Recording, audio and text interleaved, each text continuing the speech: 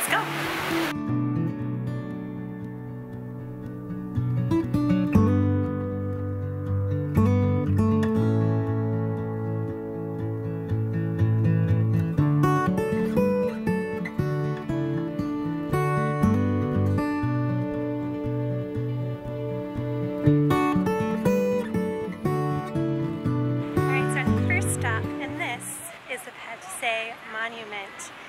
This monument was built 1958 and was actually built with American cement. I don't really know how that relationship turned out or happened, um, but it was actually meant to be built into a airport. So its nickname, um, this is translated to Victory Gate, but its nickname is Vertical Gate since it's supposed to be an airstrip. Um, but yeah, it costs 3000 kip to get in, which is a little bit under 50 cents. So let's go in, go up the staircase, and we can get a nice view of Vientiane.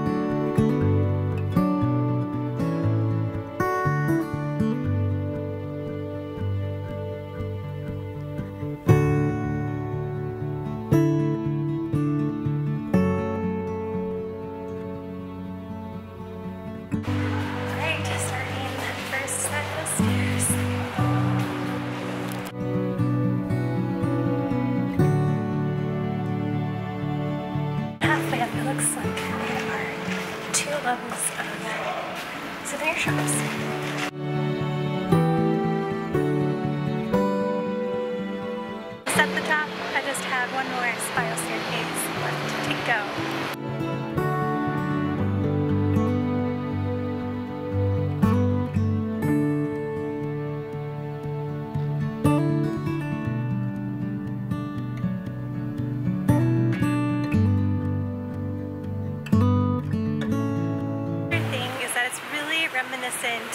Arc de Triomphe in Paris, and it's really actually really pretty.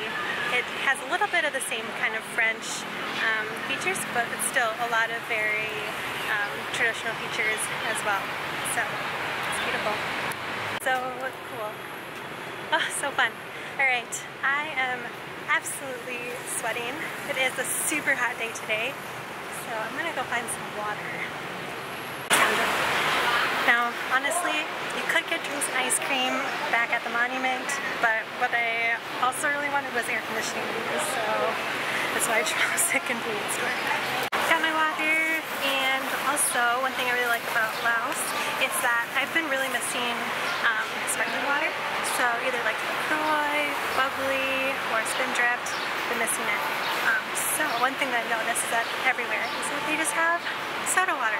Um, it's plain soda water, which is still really delicious, but ah, so.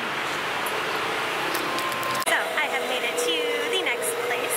This is Wat Sisaket, and the reason why I wanted to come here is because there's supposed to be like over 5,000 images of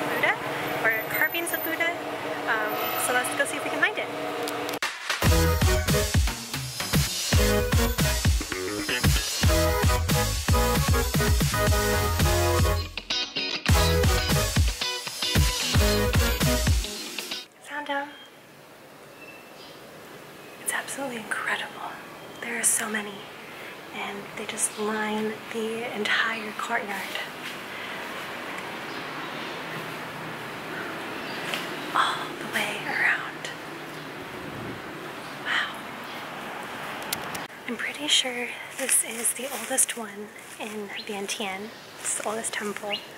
Um, because it's the only one that's been able to like stay standing because when the Siamese came, this has the Siamese style. So they used this as their headquarters when they invaded.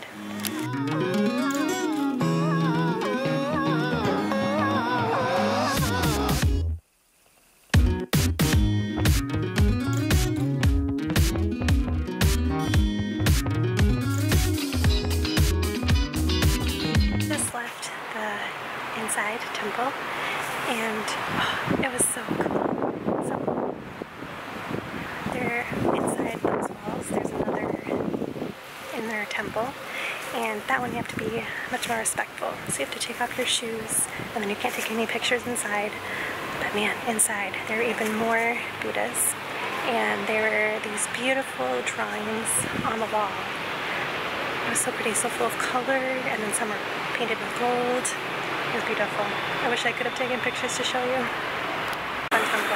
So cool. I think that has to be my favorite so far. So, so awesome.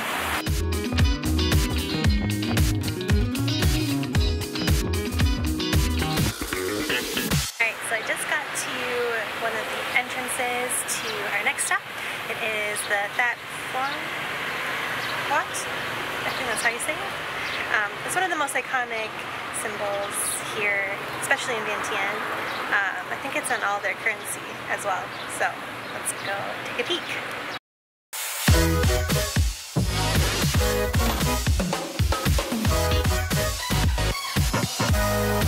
I have the Golden Stupa right behind me, and I think this is one of the more iconic monuments for the city. Um,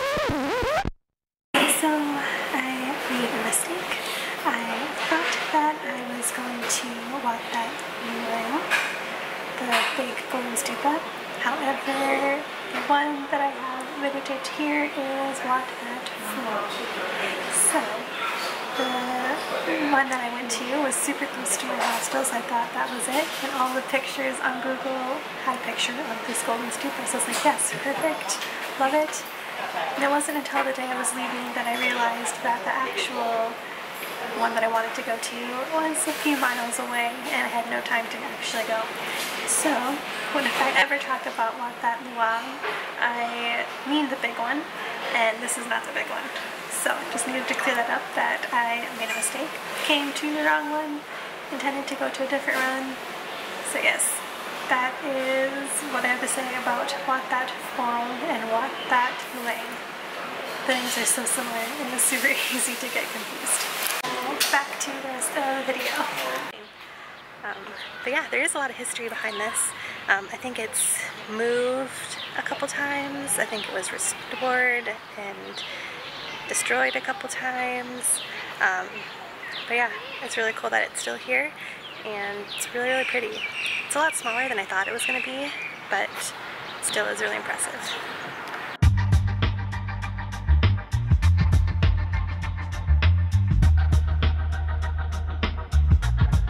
So I made it to the next stop.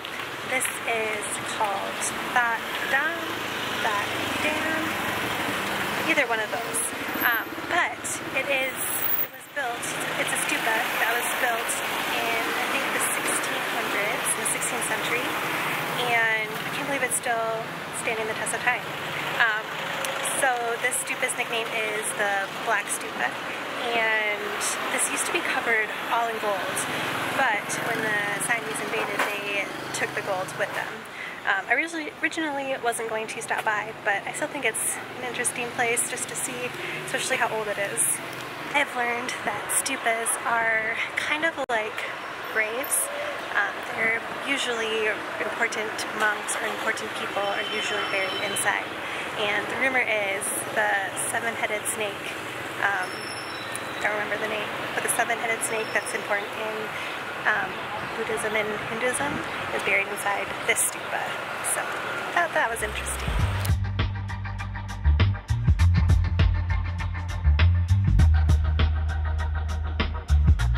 So I made it down to the riverfront to watch the sunset and I'm really happy because it's um, some of the clouds have disappeared so I'll be able to see the sun which is really nice. This, it, this river back behind me is actually the Laos and Thailand border. So, just back there, it's Thailand. My first glimpses of Thailand. I'm so excited. So happy. Sunset definitely is my favorite times of the day, so I definitely suggest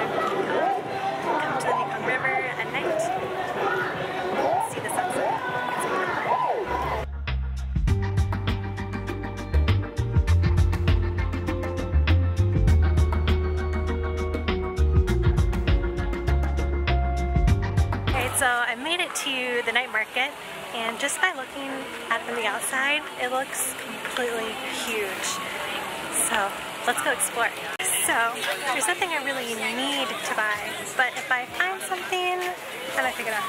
So two things I'm maybe looking for is a pair of sunglasses because I accidentally threw mine away in Vietnam. And I'm also kind of bored of my clothes. So if I find any good deals, I might pick something up. We'll see.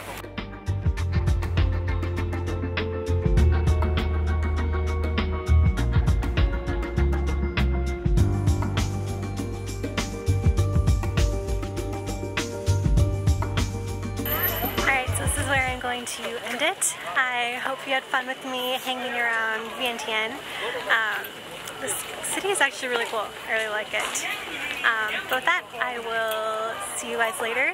And if you want to see more of what I get up to, don't forget to hit subscribe. And I will see you guys in the next one.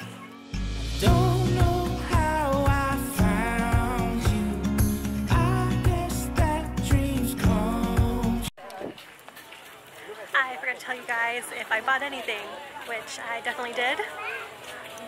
I got myself a pair of super authentic Ray-Bans. What do you guys think?